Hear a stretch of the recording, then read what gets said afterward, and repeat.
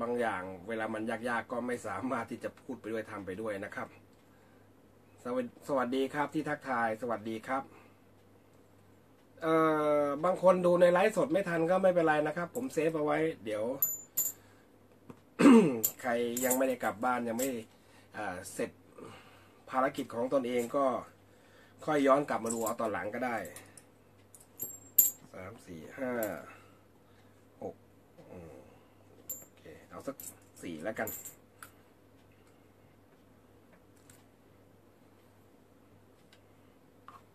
นี่ ถ้วย ถ้วย แก้ว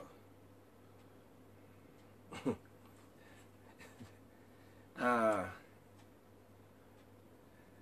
อ๋อกลแนวพัดเหรอ อ่า มีมีมีมีดูดูกลพัดก่อนเหรอเออได้ได้ ตามใจแฟนคลับ เขาจะดูกลพัดครับ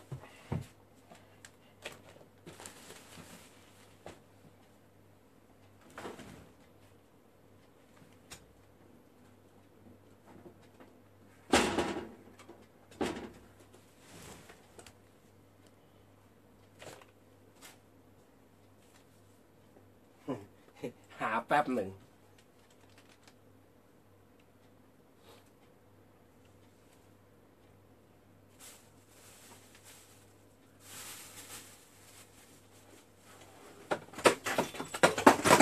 เอาล่ะดำเนิน อะไรอะวะ หาอย่างหนึ่งก็จะหล่นอีก สิบอย่าง และแล้ว และแล้วก็สามารถหาได้มันคือมายากลพัดจีน ชุดนี้มีชุดเดียวในประเทศไทย เพราะในประเทศเอ้ยมีมีชุดนี้นี่มีชุดเดียวในประเทศไทย เพราะว่าคนในประเทศไทยไม่มีใครเขาสั่งกันมาเล่นฮึบที่ที่จะเอา มายากลเกี่ยวกับพัด เพราะว่าเวลาไปลำไทยเก๊กจะได้เล่นด้วยใช่ไหมใช่ไหมได้ เดี๋ยวถ้าไงแวะผ่านชนบุรี เลี้ยวเข้างอใบออกเขาหัวหลังกังก็จะได้มาเล่นให้ดูกันนะ ดูหนึ่งสองสามมายากลแรกพัดเปลี่ยนหน้า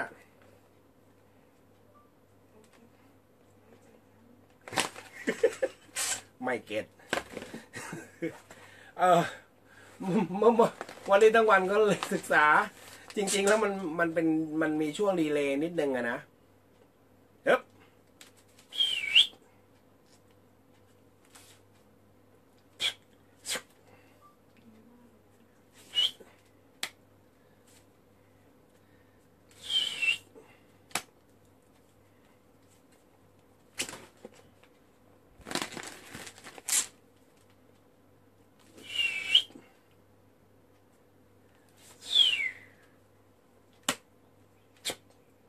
มายากลพัดครับแหม่เต้ดูไม่ทันเพิ่งดู อีกทีหนึ่งฮือฮือ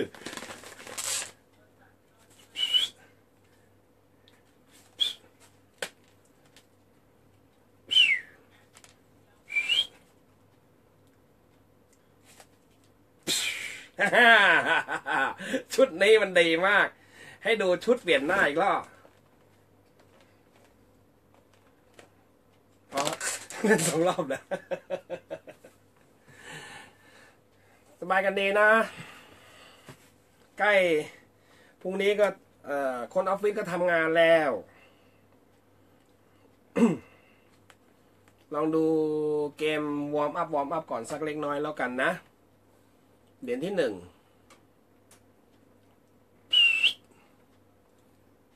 เอาใส่มือ แล้วก็เก็บ เหรียญที่สอง เก็บไว้ ส่วนเหรียญที่สามขยับ หยิบ ใส่เข้าไปในมือ ส่วนเหรียญที่สี่เป็นเหรียญเงิน แล้วก็จะกลับกลายเป็นเหรียญจีน จากเหรียญจีนก็จะกลับกลายเป็นเหรียญเงินเหมือนเดิม เหรียญที่เป็นเหรียญเงินและกลายเป็นจีน เมื่อใส่เข้าไปในแก้ว เหรียญที่หนึ่งสองสามเมื่อเหรียญที่สี่ความที่เป็นสีเงินมันก็จะทำให้เหรียญทั้งหมด กลับกลายเป็น เหรียญเงินเหมือนเดิม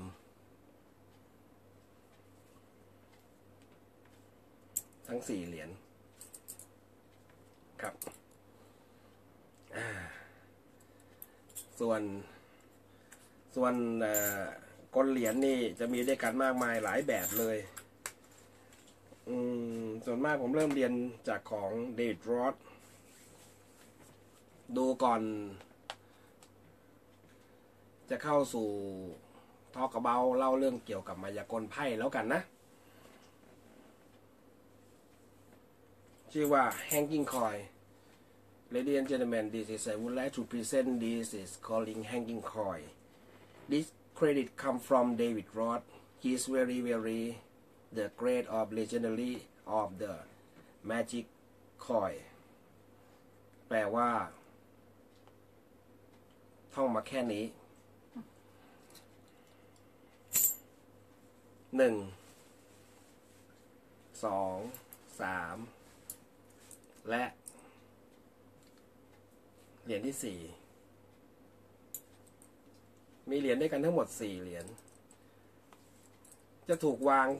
แขวนไว้บนอากาศ แบบมายากล โดยที่เหรียญที่หนึ่งเมื่อใส่เข้าไปในมือ จะถูกแขวนเอาไว้เหรียญที่หนึ่งและเหรียญที่สองจะทำเหมือนเหรียญแรก รวมทั้งเหรียญที่สาม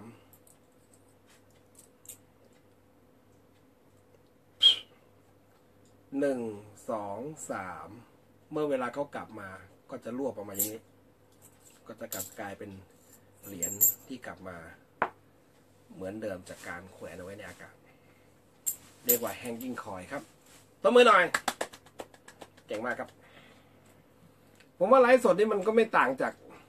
ซ้อมเองนะ ดีหน่อยตรงที่ว่ามีความรู้สึกมีปฏิสัมพันธ์กับโทรศัพท์มือถือและ ผู้ที่ร่วมเข้ามาชมนะครับ สบายกันดีนะครับ ทุกท่าน ทั้งที่ท่านที่ทำงานและท่านที่งานที่ยังไม่ได้ทำก็ตามนะครับ แล้วการแสดงต่อไปนี้เป็นเครดิตงานของแกลลี่ควอเรตนะครับ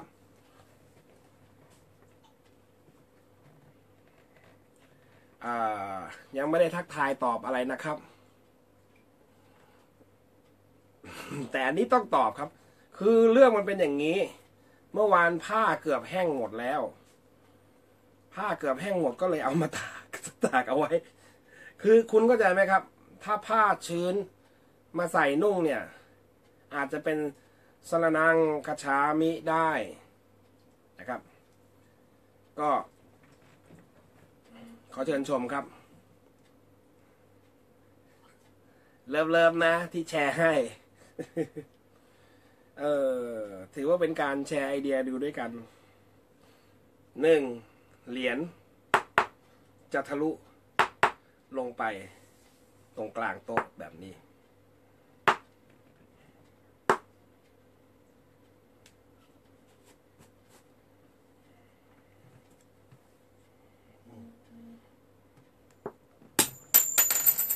ว้าว เออเออ ขาเก็บไม่ค่อยขากลับไม่ค่อยเท่เท่าไหร่ ส่วนอีกแบบหนึ่งเป็นของดรซาว่าครับได้เป็นไลฟ์สดการแสดงมายากลไพ่นะฮะ แต่กูยังเล่นเหรียญ สวัสดีพ่อแม่พี่น้องครับ อาจจะคิดซะว่าเป็นทางออกของคนที่อยู่ในถ้ำไม่ค่อยได้ไปไหน แต่ว่ามีอะไรให้ชมกันบ้างเล็กน้อย ดูนะครับ เหรียญหนึ่งเหรียญวางไว้ตรงกลางตรงกลางโต๊ะ หลังจากนั้น อันนี้ไม่เกี่ยว ขยับมือ แล้วค่อยๆถูเหรียญ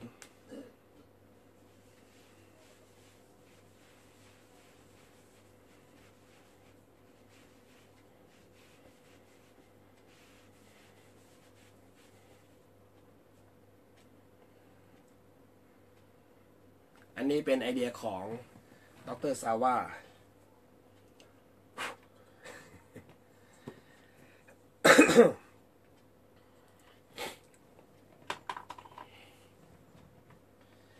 เอ่อวันนี้หัวข้อเรื่องก็คือเมื่อวานไลฟ์สด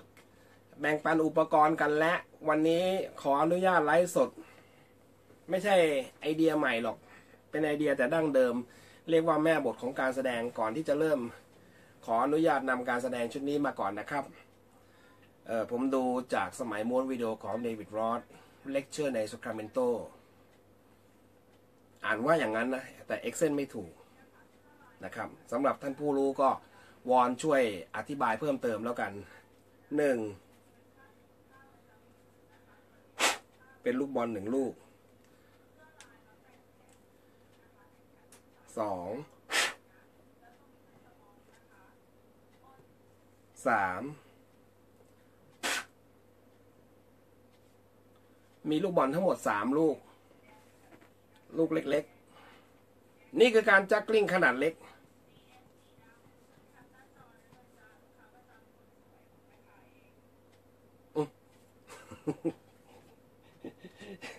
อันนี้คือการจักกลิ้งขนาดใหญ่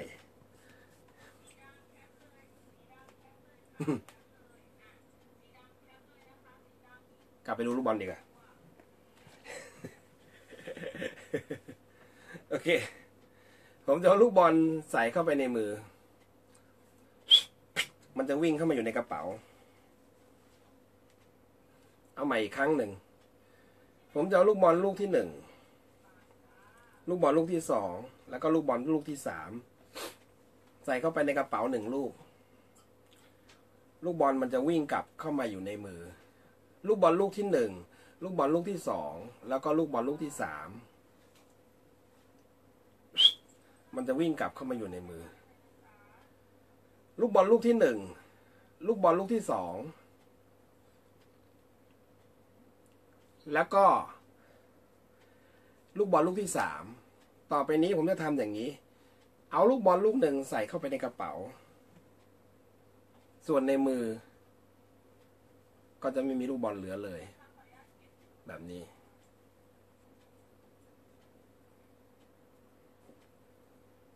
ว้าว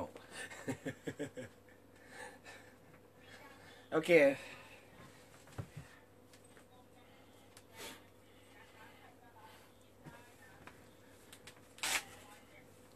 ต่อไปนี้เป็นการแสดงที่เรียกว่ามายากล ambitious card นะครับ เล่าประวัติเท้าความก่อนสักประมาณ 3 ชั่วโมงครึ่ง แล้วจะเริ่มแสดง 2 นาทีกว่าทำไมกลชุดนี้นักมายากลไพ่หรือว่านักมายากลที่ใช้ทักษะของมือ จะต้องได้เรียนรู้มายากลชุดนี้กล่าวว่า เป็นมายากลที่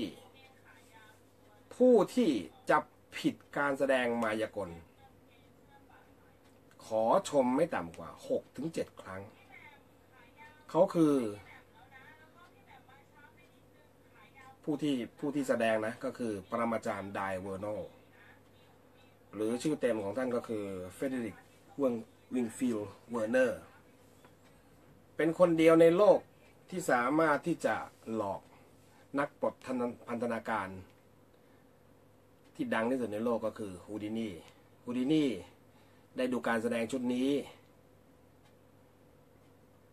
สองครั้งแรกสามครั้ง จนอีกหลายต่อหลายครั้ง ขอดูซ้ำแล้วซ้ำเล่าฮูดินีไม่มีโอกาสที่จะจับผิดได้เลยปรมาจารย์ไดวานอจึงได้ฉายาว่า The Man Fool Houdini นับแต่นั้นมาการแสดง Ambitious Card สำหรับนักเล่นกลที่ได้ศึกษาจากข้อมูลต่างประเทศมา จะรู้จักกันเป็นอย่างค่อนข้างมากนะครับในสไตล์และแบบต่างๆนะครับ ปัจจุบันผู้ที่เผยแผ่เผยแพร่ออกมานะครับ ท่านก็ได้ เดินทางไปนานแล้วนะครับ แต่วิชาและความรู้ รวมทั้งข้อมูลต่างๆนะครับ ได้ถูกสารต่อระหว่างท่านและลูกศิษย์ของท่านต่อๆไป ขออนุญาตเริ่มการแสดงเลยนะครับ โดยที่จะใช้ไพ่หนึ่งสำหรับ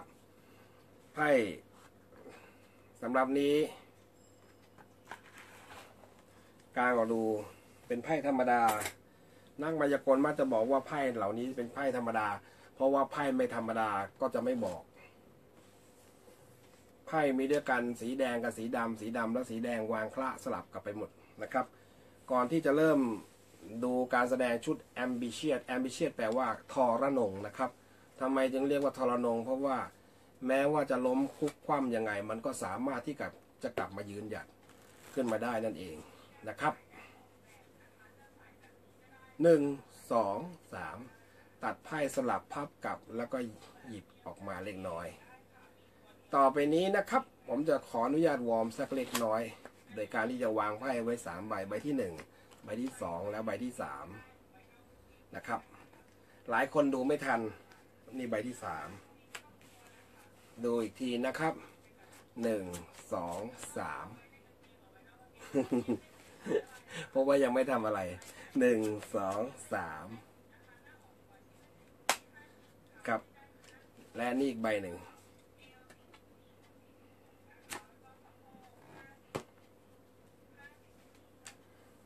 ประเพณีในการแสดงมายากลของไพ่นะครับ ก็คือการที่จะกรีดคลี่ออกให้ผู้ชมเลือก และเพื่อเป็นการบริสุทธิ์ใจก็คือให้ผู้ชมเซ็นชื่อเอาไว้ผมมาทำอย่างนี้บอกว่าอยู่ตรงไหนก็ได้ แต่คราวนี้เล่นเองเออเอง ถือว่าเป็นผู้ชมร่วมกันแล้วกันหยุดโอเคดูไว้นะครับ ไม่มีการเตรียมไม่มีการใช้สแตนด์อิน และ จะมีแค่ใบเดียวเท่านั้นที่ถูกเซ็นชื่อเอาไว้ในนี้นะครับ ยึกยึกยือยือเห็นชัดเจน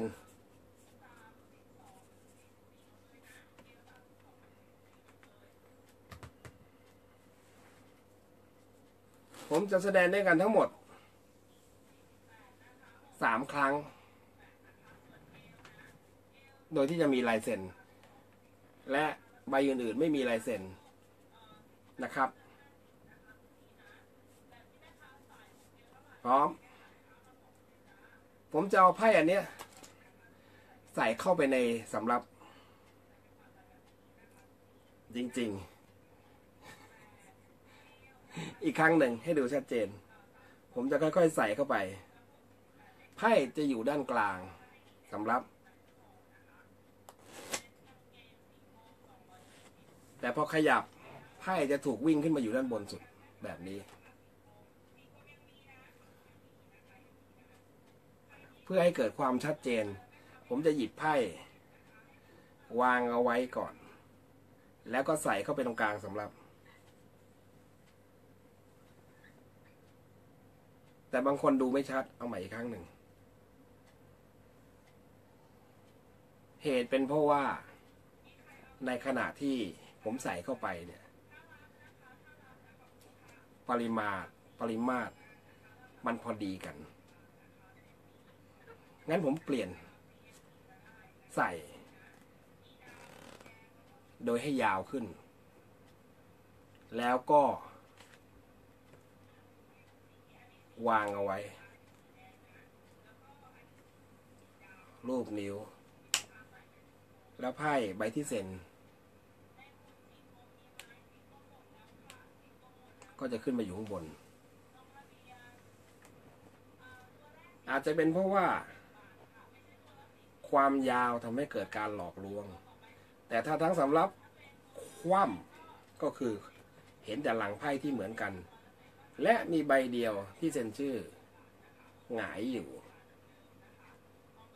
ถ้าอย่างนี้ คุณก็จะเห็นได้ชัด แต่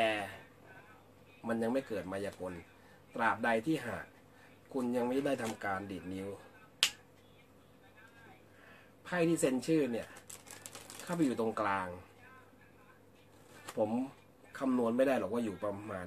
ใบไหน แต่ถ้าหากโบกมือเบาๆแบบนี้ แล้วขยับไพ่ก็จะวิ่งขึ้นมาอยู่ข้างบน เหมือนเดิม ดูอีกครั้งหนึ่ง เพื่อให้เกิดความมั่นใจขึ้น ผมวางคว่ำทับ และกดลงไปอย่างนี้ไพ่ก็จะวิ่งขึ้นมาอยู่ด้าน บนเหมือนเดิม ส่วนของความพิเศษของมายากลไพ่ Ambitious Card ก็คือ มันสามารถขึ้นมาได้หลายต่อหลายครั้ง เคล็ดลับ ผมจะทำไพ่ให้เกิดตำหนิ เพื่อคุณจะได้เห็นได้อย่างชัดเจนทำให้เกิดตำหนิยังไงเหรอไพ่ทุกใบจะแบนแต่ใบนี้ผมจะทำให้งอ เมื่อไพ่มันงอ คุณก็จะเห็นชัดเจนว่ามันมีความแตกต่างจากไพ่ใบอื่นอย่างแน่นอน แล้วผมจะวางไว้อย่างนี้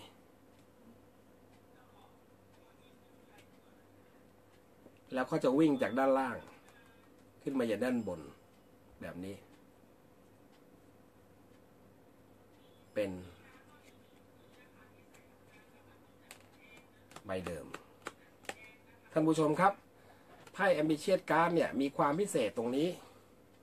ตรงที่ว่าไพ่ทั้งสำรับ สามารถที่จะเอาใส่เข้าไปตรงด้านไหนก็ได้ โดยใช้ไพ่ที่มีลายเซ็น แต่ท่านเชื่อหรือเปล่า ความพิเศษของไพ่ทั้งสำรับเนี่ย มันจะพิเศษตรงอย่างนี้ครับ เวลาที่ท่านเอาไพ่ใส่เข้าไปในกอง แล้วพอขยับเป่า ไพ่ที่เหลือ มันจะเหลือแค่ใบเดียว นั่นก็คือใบที่เซ็นชื่อ เอาไว้เท่านั้นครับ การแสดงมายากลเกี่ยวกับไพ่เนี่ย มันมีความคลาสสิกกันอยู่ด้วยกันหลายแบบแล้วก็หลายอย่าง อยากจะเรียนให้ทราบนิดนึงว่าไพ่แต่ละอันเนี่ย อาจจะถูกซ่อนไว้ตรงมุม และตรงด้านไหนก็ได้ เมื่อกี้ลองอินผมไว้ดูเล่นๆไลฟ์สดอันนี้ไม่ได้เปิดเผยเคล็ดลับนะครับทอกอ about เล่าให้ฟัง เกี่ยวกับเรื่องมายากลไพ่เสริมทักษะสำหรับคนที่เล่นเป็นอยู่แล้ว บางคนอาจจะดูแค่สไตล์แบบต่างประเทศ ลองมาดูแบบคนไทยพูดกันดูสักเล็กน้อยนะครับ ไว้คราวต่อๆไป อาทิตย์นี้คงจัดเวลาให้รีแลกซ์รีแลกซ์สบายๆ แล้วค่อย อาทิตย์หน้าแล้วกันเนาะค่อยลองสักวันที่สิบกว่ากว่าขึ้นไป แล้วเดี๋ยวค่อยทอกระเบ้าเผื่อว่ามีอะไรปล่อยของ หรือว่าจะแวะเวียนไปหา เพื่อนฝูงน้องนุ่ง ว่าใครอยากจะลองไลฟ์สดกันขายของปล่อยของ หรือจะมาแจมอะไรด้วยกันก็ตามนะครับ ว่ายังไงกดไลค์กดแชร์เพิ่มเติมกันอีกทีหนึ่งแล้วกันนะ เพราะว่าจะได้แบ่งปันองค์ความรู้อย่าเรียกว่าถูกต้องเลย เรียกว่าเป็นประสบการณ์ของแต่ละบุคคลแล้วกันท่านผู้ชมครับ ก่อนที่จะจบมายากลไพ่ Ambitious Card อยากจะบอกว่า Ambitious Card เนี่ยสามารถเล่นได้ทั้งมือเดียวสองมือและมือข้างเดียว โดยที่ วางมือไว้อย่างนี้จับพับสลับกับแล้วก็ตัดมาอย่างนี้ ดีดนิ้วปั๊บมันจะวิ่งขึ้นมาอยู่ด้านบน เหมือนครั้งแรกเลยนะครับ แล้วพบกันใหม่ในไลฟ์ต่อๆไปนะครับ อันนี้ไม่ได้บอกออล่วงหน้านิดนึงใครใครอยากจะศึกษาเกี่ยวกับมายากลไพ่ที่ชื่อชุดว่า Ambitious Card นี่ เครดิตการแสดงนี่ท่านสามารถเรียนรู้เพิ่มเติมได้นะครับ จากในสารระบบของ ท่านที่ได้เป็นปัจจุบันก็เป็น The Legend of Card ไปแล้วก็คือเดรียลนะครับ D A R L Y Daryl นะครับครับอืมหึอีกนิดเหรอท็อปเพิ่งมาเหรออืมเป็นมายากลเป็นมายากลไพ่อะ ท็อปเป็นระดับเท้าพญาคงจะดูไม่เข้าใจดูอีกนิดนะ โอเค แถมอีกนิดนึงเออเอาเอาเอาเอาแถมอย่างนี้แล้วกัน อืม จะเอาไพ่เนี่ย เลขหนึ่งถึงเลขสิบชอบเลขอะไร อะ ตอบหน่อย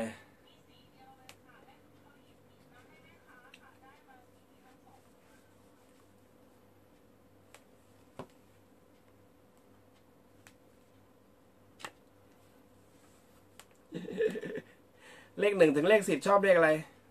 หกเลขแปดโอเค ผมจะเอาไพ่วางไว้ด้านบนนี้ แล้วผมจะนับลงไปดูนะหนึ่งสองสามสี่ห้าหกเจ็ดแปดไพ่ใบที่เซ็น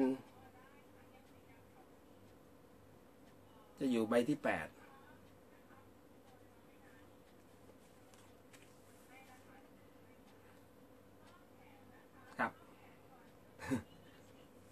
เคล็ดลับง่ายมากครับ ก็คือท่านไม่เอาไพ่ใบนั้นลงไปนะครับเอ่อถ้าทำอย่างเงี้ยท่านเห็นได้ไม่ชัด แต่ถ้าหงายอย่างเงี้ยท่านจะเห็นชัด